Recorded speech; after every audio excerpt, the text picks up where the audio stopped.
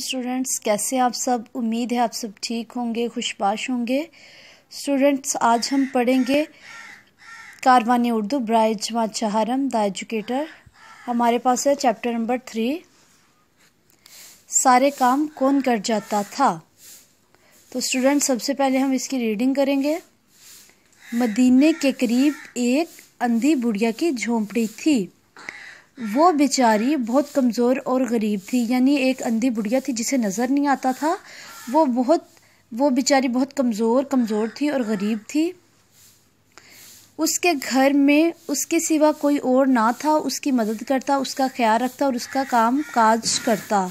यानी वो अकेली रहती थी और उसके घर में कोई नहीं था जो उसकी मदद करता और उसे आँखों से नज़र भी नहीं आता था। हज़ा उमर फ़ारूक को जब उस बूढ़ी औरत के बारे में पता चला तो वह हर रोज़ सुबह सवेरे बुढ़िया के घर जाते, उसके घर में झाड़ू देते, पानी भरते, ज़रूरत की चीज़ें बाज़ार से लाकर रख देते। बुढ़िया तो बेचारी अंधी थी उससे पता भी ना चलता और हज़ा उमर खामोशी से उनके सारे काम करके चुपके से चले जाते। एक अरसे तक उनका यही मामूल रहा, यानी उनकी यही आदत रही वो ऐसे ही करते रहे, एक अरसे तक कि चुपके से उनका काम कराते। एक दिन हज़रत उमर जब बुढ़िया के घर आई तो देखा कि घर में झाड़ू भी दी जा चुकी है। मटकों यानी घड़ों में पानी भी भरा हुआ है। आपको सामने मटके नज़र आ रहे हैं ना? ये देखें। तो पानी भी भरा हुआ है। ज़रूरत की हर चीज़ घर में मौजूद है। अब तो इन्हें बड़ी हैरत हुई कि आखिर मुझसे भी पहले आकर ये सारे काम कौन कर गया? सोचने वाली बात तो थी ना, पहले तो हज़ा उमर कर जाते थे, आज कौन कर गया? तीसरे दिन भी बुढ़िया बेचारी तो अंधी थी, उसे क्या खबर कि कौन आता है और सारे काम कर जाता है? इसलिए हज़ा उमर ने सोचा कि मुझे चुप कर राज जानने की कोशिश करना चाहिए। अगली रात को आप दरवाजे के करीब छुप कर खड़े हो गए।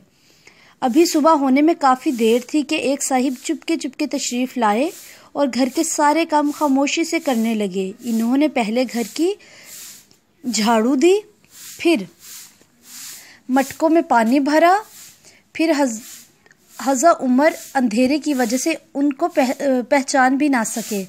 जब वो साहिब काम करके दरवाजे के पास पहुँचे तो हज़ा उमर इन्हें देखकर हैरान रह गए। वो कोई और नहीं उस वक्त के खलीफा हज़ा अबू बकर सदीक रज़ी अल्लाह ताला थे। जो खलीफा वक्त होने के बावजूद भी इस बूढ़ी औरत का इतना ख्याल रखते थे कि घर का हर काम अपने हाथों से कर जाते थे। हज़र उमर ने कहा, अमीरुल मोमिनीन, पहले तो ये सारे काम मैं करता था, अब आप ये सब क्यों करने लगे हैं? हज़र अबू बकर सदीक रज़ी अल्लाह अनहा ने फरमा, जवाब दिया, उस वक्त मैं अमीरुल मोमिनीन नहीं था। खलीफा बनने के बाद ये मेरी ज़िम्मेदारी है कि मैं हर फ़र्द का ख्याल रखूँ। तो स्टूडेंट्स रीडिंग करके अच्छा लगा आपको? तो स्टूडेंट्स रीडिंग तो हमने डन कर ली। अब हम इसकी एक्सरसाइज को देखेंगे। तो सबक नंबर हमारे पास तीन है। सारे काम कौन कर जाता है? तो सवाल नंबर एक है, अल्फाज के मायने लिखे। ठीक है तो पहला वर्ड है, हम अल्फाज है हमारे पास, अमीरुल मोमिनीन, मुसलमानों के आला हाकिम, खलीफा यानी पैगंबर का नाइब मामूल यानी आदत। ठीक है? तो सवाल नंबर एक है हज़ा उमर फ़ारूक बुढ़िया के सारे काम क्यों कर जाते थे? तो बच्चों रीडिंग किए तो आपको पता चल गया होगा कि हज़ा उमर फ़ारूक बुढ़िया के सारे काम क्यों कर जाते थे।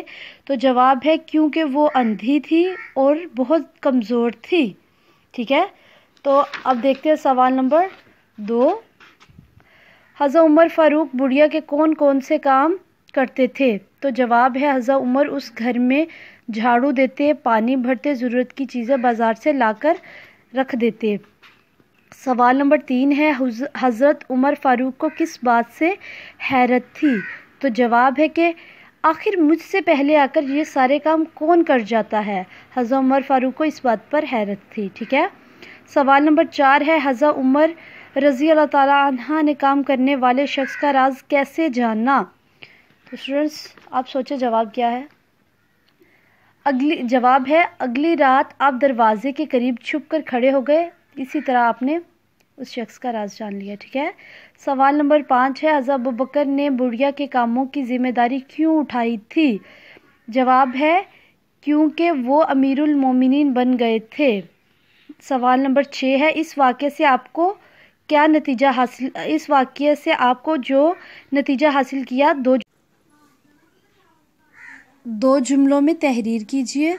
तो जवाब है हमें अपने इर्द गिर्द रहने वाले बीमार और बुज़ुर्गों की मदद करनी चाहिए और इनका ख्याल रखना चाहिए। ठीक है स्टूडेंट्स?